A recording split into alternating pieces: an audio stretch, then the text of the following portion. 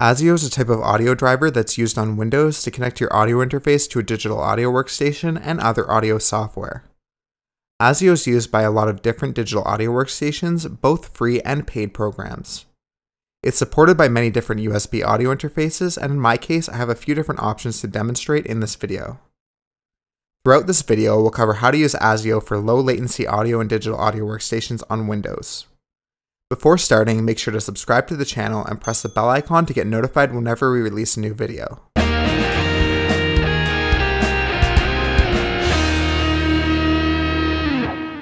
ASIO stands for Audio Stream Input Output, and this is a driver protocol for audio devices such as audio interfaces that is used on Windows. ASIO allows us to bypass the Windows Sound Driver software and communicate directly with the audio interface. Getting rid of this setup in between helps us reduce some of the latency.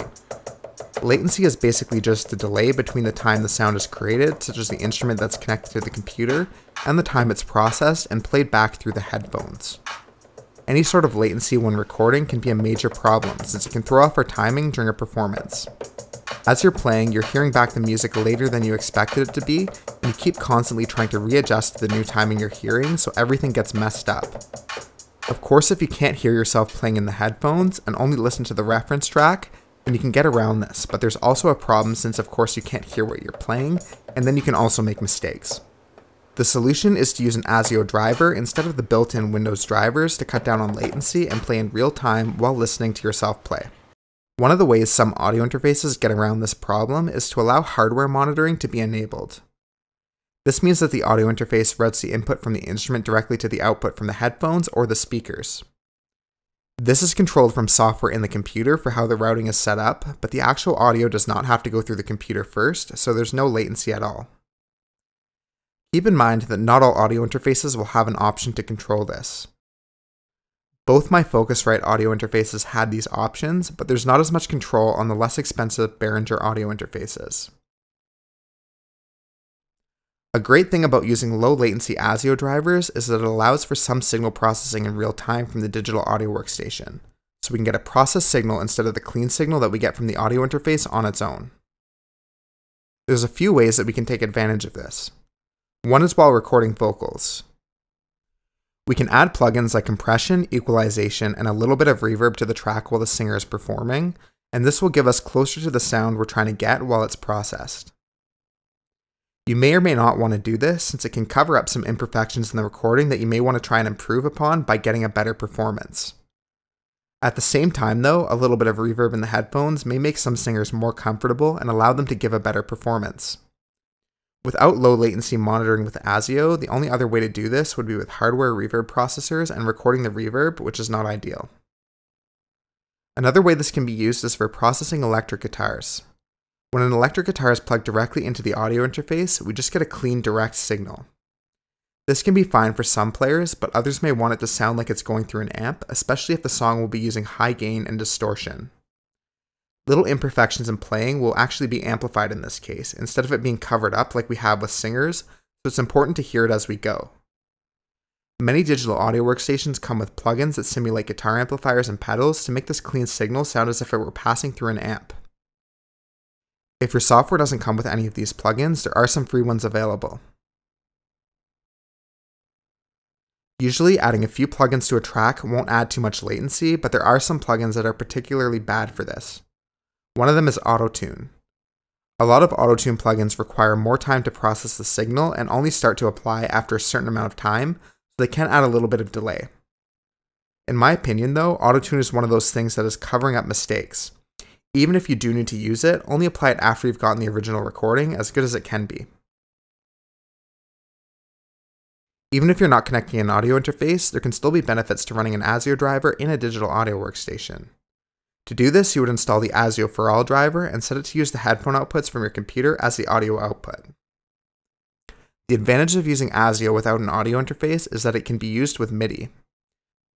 A MIDI keyboard over USB should respond immediately to the digital audio workstation, but there can still be some delay in the processing of the sound that goes out through the headphones. In that case, you would hear the sound play a fraction of a second after hitting the notes and it would throw off your timing. With ASIO drivers, there may still be a small amount of latency, but it's usually not noticeable. One more thing ASIO drivers can do is allow us to access all the inputs on our audio interface at once. With some of the default Windows drivers, we may only get a left and right input as the microphone, so we can only get the first two inputs on our audio interface. ASIO can be used to unlock the rest of the inputs in the digital audio workstation.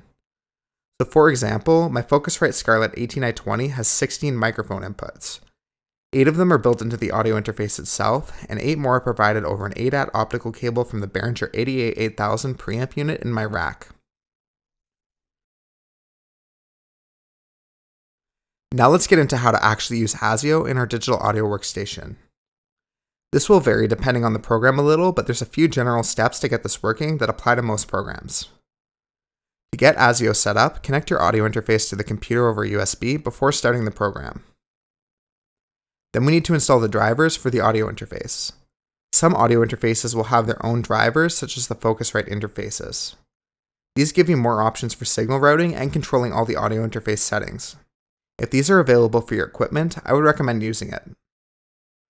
Other audio interfaces will rely on the ASIO4ALL driver, which is more of a generic ASIO driver. Start by downloading one of the drivers and installing it by running the program. Next, start up the digital audio workstation.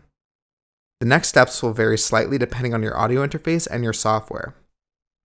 We're starting with Reaper and then we'll look at a few different digital audio workstations as well so you get a general idea of the settings that will be available. Once in the digital audio workstation, find the settings menu. This is the step that will be different depending on the software, but it's usually somewhere in the top menus and should be fairly easy to find. From there, look for a setting referring to either audio or hardware of some sort. Here we can find our settings under audio and device. At the top, we have a dropdown that allows us to select the audio system. Some may default to MME or Windows Direct Sound, or even ASIO as the default we need to make sure this setting is set to ASIO. Otherwise, we won't be able to select an ASIO driver for the audio interface. Then select the specific driver. We'll see here I have a few different options. This will differ depending on what audio interfaces you're using. The first one is ASIO4ALL, and that's used for many different audio interfaces. For example, I have my small Behringer UM2 audio interface that works with that driver. It's also used for some USB cables, and I have a USB guitar cable and USB microphone cable that I can connect a guitar or microphone to the digital audio workstation with without using an audio interface. This isn't something I use all the time, but I found them interesting to experiment with.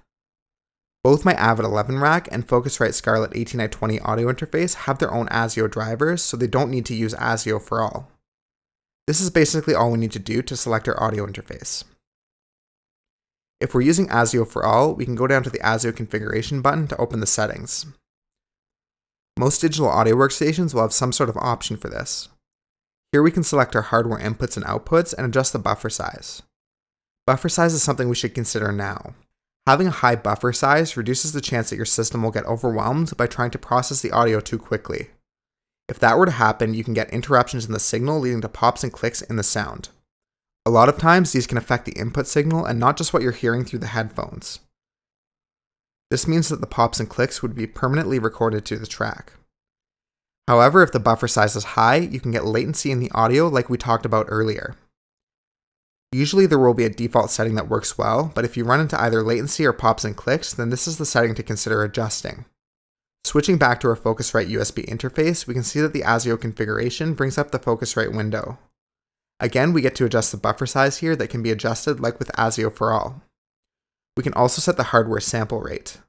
We'll want to match this to our project. In this case, both the project and the audio interface are set to 44.1 kHz, but this audio interface supports up to 192 kHz. The last step is not one that we have to do for every digital audio workstation, and that's selecting which inputs and outputs are available. Many digital audio workstations would just default to having all the inputs and outputs enabled, and from there you would just select them from your track. In Reaper, it may default to only making some of the inputs available. To get the external inputs from the Behringer ADA8000 to be enabled, I would need to enable them from the settings. With all this done, we can click OK to save our settings. Now we can insert an audio track and select our ASIO input on that track as the audio input. We now have low latency audio that we can turn on input monitoring to hear it back. So that covers Reaper. Now let's cover Cakewalk by BandLab really quickly to look at the similarities. Once in the program, go to the Edit menu at the top and select Preferences from the bottom of that menu. This is similar to that Settings menu we had opened earlier in Reaper. Under Audio on the left side, select Playback and Recording. Here we need to switch the driver mode to ASIO.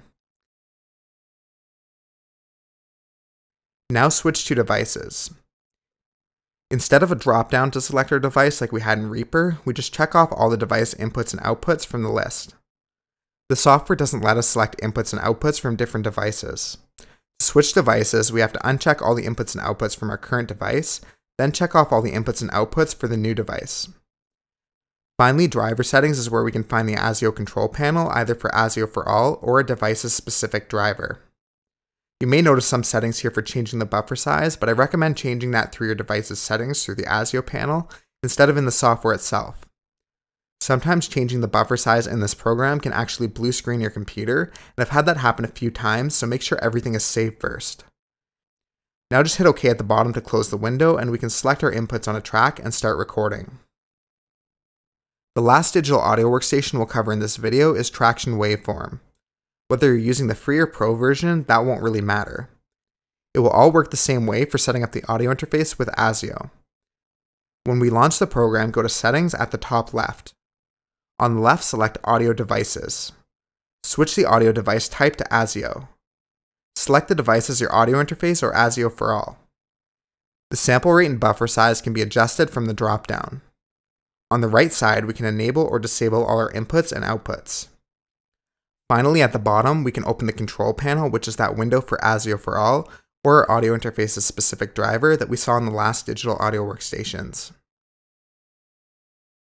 Thanks for checking out this video on ASIO audio drivers for recording on Windows.